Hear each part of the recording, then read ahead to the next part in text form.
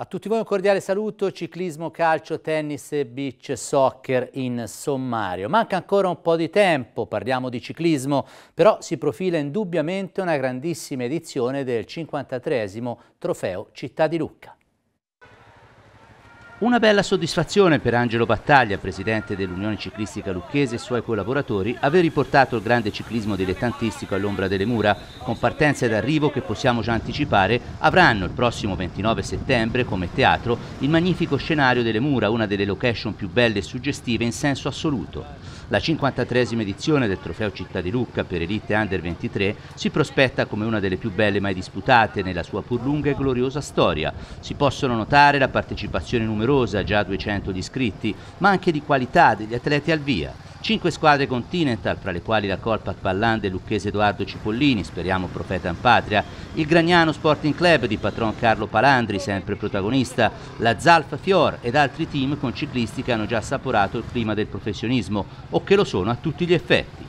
Spicca poi anche per altri ovvi motivi l'adesione della nazionale dell'Ucraina, per il Città di Lucca e anche per la Milano Rapallo ma dall'estero sono annunciate anche una squadra svizzera e una del Ruanda. Del resto il ciclismo africano, vedi Binian Girmay, è in notevole crescita. Il pedale racconta che lo scorso anno la corsa fu una selezione progressiva, con il campione toscano elite Nicolò Garibbo del Gragnano ancora una volta protagonista e tra i più brillanti, battuto però in volata solo da Simone Impellizzeri, la sua prima vittoria stagionale, mentre Simone Carrò sul gradino più basso del podio completò il successo di squadra dell'Aries Cycling.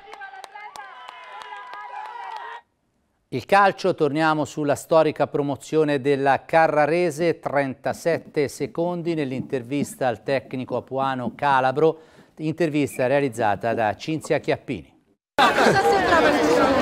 È una gioia immensa che ripaga di tutti i sacrifici che abbiamo fatto da quando siamo arrivati qua.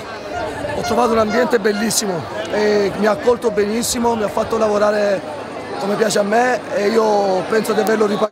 I ragazzi li abbiamo ripagati come giusto merito.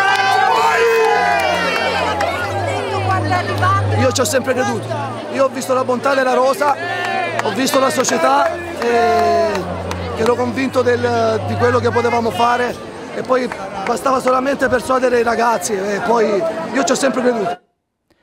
Parliamo di tennis, Jasmine Paolini come avevamo annunciato dopo la finale a Roland Garros è salita al numero 7 della classifica mondiale. La tenacia e i progressi palesati negli ultimi tempi rendono merito alla ventottenne campionessa lucchese che adesso mette nel mirino l'erba di Wimbledon. Non esaltante il commento, eh, meno esaltante il commento in campo maschile per Lorenzo Musetti che è sceso in trentesima posizione, però al Roland Garros Lorenzo ha dato confortanti segnali di ripresa e adesso in questa settimana si metterà in discussione a Stoccarda nei sedicesimi martedì, se la vedrà con il francese Per Ricard.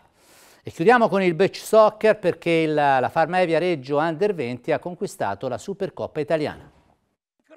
Dopo tre scudetti e una Coppa Italia, la Farma e Viareggio Under 20 conquista anche la prima storica Supercoppa Punto Cuore di Beach Soccer, riscattando subito la delusione per l'esclusione dalle Final Four. Al Matteo Valenti Beach Stadio al Bagno Flora in passeggiata a Viareggio davanti ai propri tifosi, i bianconeri alzano al cielo il primo trofeo stagionale Under 20 del 2024, battendo con un tirato 6 a 4 Bel Cagliari.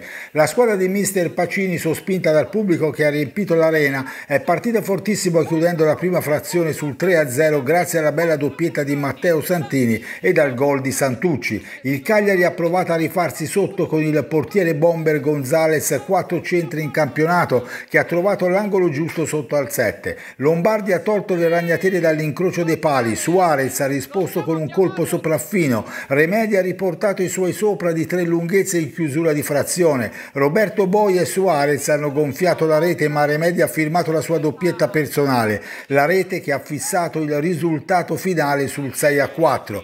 I ragazzi della Farma e Viareggio hanno onorato al meglio la memoria di Matteo Valenti, il giovane viareggino scomparso tragicamente nel novembre del 2004. Domenica Matteo avrebbe compiuto 43 anni. La squadra si è recata con la coppa vinta alla sua statua a lungo canale est. La società bianconera ha reso indelebile il suo nome intitolandogli l'arena quando il beach soccer è sbarcato in città grazie a Stefano Santini, l'anima di tutto il movimento del Bicio Viareggino. Per anni allenatore vincente con la prima squadra ed ora direttore tecnico della società. Per la Winners Cup, debutto vincente a Nazareth della prima squadra in Portogallo dei bianconeri contro i francesi del Moleron, battuti 12 a 1. Ora sarà la volta contro i rumeni del West Deva. È tutto per quanto riguarda la pagina sportiva del TG Noi, adesso la pausa e poi gli altri spazi dell'informazione su Noi TV.